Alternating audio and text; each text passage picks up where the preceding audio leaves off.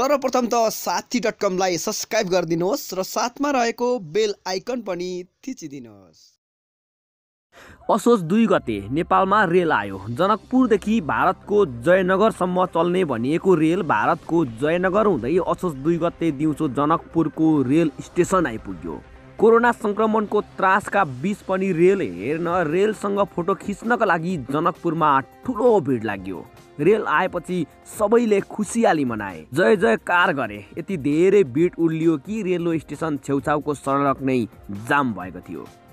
जे जसरी भए पनि नेपालमा रेल आयो। जनकपुर प्रदेश दुईमा मात्रै नभएर राजधानी काठमाडौँ र देशभर नै यसको चर्चा राम्रो भयो केही दिनसम्म। सरकार समर्थकहरूले जनकपुरमा रेल आइपुग्न अहिलेको सरकारको ठुलो उपलब्धिको रूपमा अर्थ्याए प्रधानमन्त्री केपी शर्मा ओलीले जनतालाई देखाएको रेलको सपना पुरा भएको भन्ने कोणबाट चर्चा पनि भयो। रक्सोलदेखि अम्लेखगञ्जसम्म रेल सेवा सञ्चालनमा आएको भन्ने इतिहास पनि खोतलियो। नेपालमा पहिलोपटक रेल आएको झैँ चर्चा पनि भयो तर जनकपुर जयनगरमा पहिल्यै रेल चल्ने गरेको थियो। बन्द भएको लामो समयपछि स्तरोन्नति गरी नयाँ रेल चलाउन लागि पहिलो पटक रेल आए गरी गरिएको प्रचार प्रचार ठिक नभएको भन्ने टिप्पणी पनि भयो। असोज दुई गते राति जनकपुर स्टेसनमै राखिएको रेल तिन गते बिहान इनरवा स्टेसन पुर्याइयो। त्यहाँ रेल त्रिपालले छोपेर राखिएको छ। रेलको सुरक्षामा सशस्त्र प्रहरी खटिएका छन्। रेल आएर पनि सञ्चालनमा नआउँदा जनकपुरवासी निराश बनेका छन्। आवश्यक तयारी पुरा नगरी रेल ल्याउँदा थन्क्याउनु परेको छ। रेल आरामले बसिरहेका बेला रेलवे कम्पनी लिमिटेडका महाप्रबन्धकलाई भने निकै भ्याइ नभ्याइ छ। आरामले बस्न पाएका नै छैनन्। उनी सामाजिक सञ्जालमा निरन्तर भिडिरहेका छन्।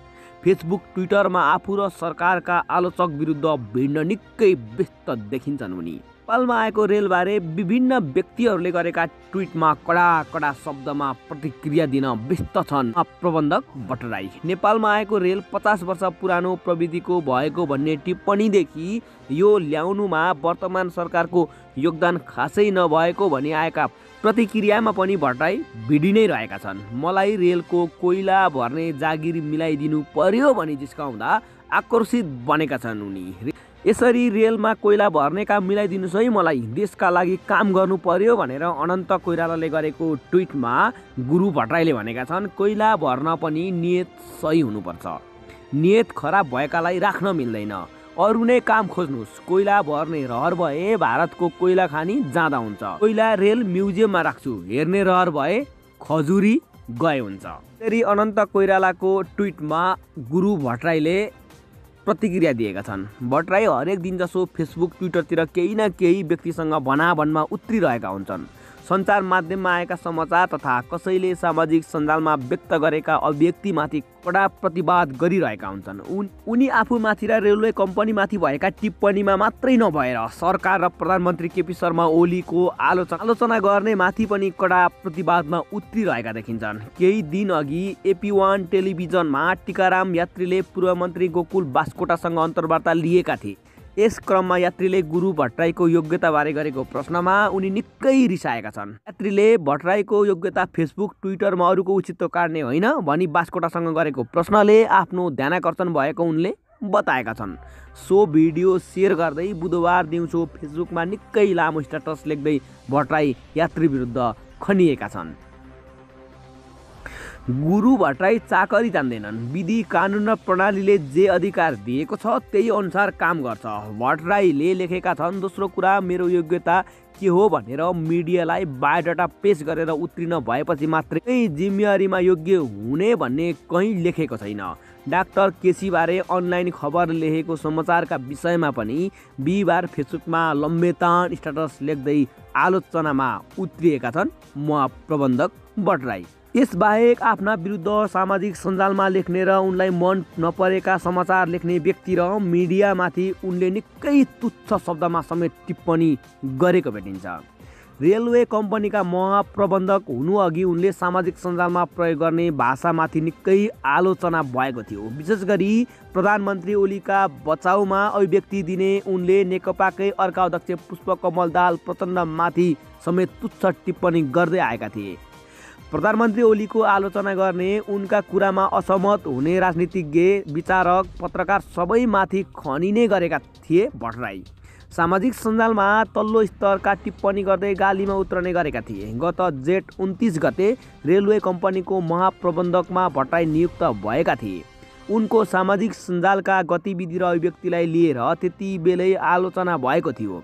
सरकारका आलोचकसँग सामाजिक सञ्जालमा भिडेकै कारण पुरस्कार बापत नियुक्ति पाएको भन्ने चर्चा पनि चलेको थियो। महाप्रबन्धकको जिम्मेवारी सम्हालिसकेपछि पनि सामाजिक सञ्जालमा आलोचना आलोचकमाथि खनिन छाडेका छैनन्। पदीय जिम्मेवारी अनुसार उनका भाषा गतिविधि असुहाउँदो भएको भन्दै आलोचना भइरहेका छन्। यसरी नै रेल निर्माण गर्ने भारतीय कम्पनीका अधिकारीबाट रेलको कागजात औपचारिक रूपमा बुझ्दै नेपाल रेलवे कम्पनी लिमिटेडका महाप्रबन्धक गुरु भट्टाईले दसैँ अघि नै रेल सञ्चालनमा ल्याउने बताएका थिए। तर अब दसैँ आउन केही साता मात्रै बाँकी छ। रेल सञ्चालन हुने अझ छाटकाट छैन। कर्मचारीको नियुक्ति बोर्डर क्रस रेल सञ्चालन गर्नुपर्दा भारत सरकारसँग गर्नुपर्ने सम्झौता लगायतका काम अझै बाँकी नै छ। रेलवे कम्पनीले एक सय उन्तिस कर्मचारी नियुक्तिका लागि आवेदन आह्वान गरेको थियो। आवेदन दिने मिति असोज बाह्रसम्म तो तोकिएको थियो। सो अवधिमा बत्तिस हजारजनाले आवेदन दिएका छन्। एक सय उन्तिस कर्मचारी माग्दा बत्तिस हजारले आवेदन दिएपछि रेलवे कम्पनीका अधिकारीहरू तनावमा परिरहेका छन्। कसरी र के आधारमा करारमा कर्मचारी नियुक्त गर्ने भन्ने विषयमा रेलवे अधिकारी अन्यलमा देखिन्छन्। महाप्रबन्धक भट्टाईका अनुसार आवेदन दिएका बत्तिस हजार मध्ये आवश्यक कागजात र योग्यता पुगेका व्यक्तिलाई पहिलो चरणमा छनौट गरिनेछ। त्यसपछि अन्तर्वार्ता माध्यमले आवश्यक कर्मचारी छनौट गरी तत्कालै नियुक्त गर्ने तयारी भइरहेको छ। दसैँमा गर्न नभ्याए तिहारसम्म रेल सञ्चालनमा आउने महाप्रबन्धक भट्टराईको दाबी छ। उनी भन्छन् कोरोना भाइरसले सीमा बन्द भएका कारण जयनगरसम्म रेल चलाउन अप्ठ्यारो हुन सक्छ। त्यसैले नेपालमै भए पनि तिहार अगाडि नै रेल सञ्चालन गर्छौँ तर तिहार अगाडि पनि रेल सञ्चालन गर्न सक्ने अवस्था छैन। रेल सञ्चालनका लागि भाडा समेत तय भइसकेको छैन। रेल सम्बन्धी विधेयक पारित हुन नसक्दा जनकपुर जयनगर चल्ने रेलको नाम के राख्ने विषय समेत अन्यलमा छ। यसअघि जनकपुर रेलवे नाम राखिएको थियो तर अब नेपाल रेलवे नाम राख्ने कसरत भइरहेको छ। रेलवे कम्पनीले दिएको जानकारी अनुसार जनकपुर जयनगर चल्ने रेलको गति एक सय दस किलोमिटर प्रति घन्टा रहेको छ। जनकपुरको कुर्थादेखि जयनगर करिब पैँतिस किलोमिटर छ। पुरा गतिमा रेल गुडाइयो र कुनै स्टेसनमा रोकिएन भने जनकपुरबाट जयनगर पुग्न बिसदेखि बाइस मिनट लाग्छ। नेपालभित्रको यो रेल सोह्र सय एसपी डेमु ट्रेन सेट हो। यो ट्रेन सेटमा एक पटकमा करिब तेह्र सय यात्रुहरू बोक्ने क्षमता छ। एउटा ट्रेन सेटमा पाँच डब्बा छन्। नेपाल सरकारले पाँच डब्बा भएको यो दुई सेट ट्रेन भारतीय कोकन रेलवे कर्पोरेसन लिमिटेडबाट भ्याट भन्सार लगायत शुल्क बाहेक तिरासी करोड तिरानब्बे लाख साठी हजारमा खरिद गरेको थियो। यो सुरुवात मात्रै भएको र अब रेलवे कम्पनीले देशव्यापी रेल सञ्चालनका लागि योजना बनाएर काम गर्ने दावी महाप्रबन्धक भट्टाईले गरिरहेका छन्। उनका यस्ता दावी खासै चासो नभए पनि त्रिपाल ओढेर आराम गरिरहेको रेल हर्न बजाउँदै कहिले चल्ला र त्यसमा सयर गर्न पाएला भन्ने प्रतीक्षामा छन् जनकपुरवासीहरू।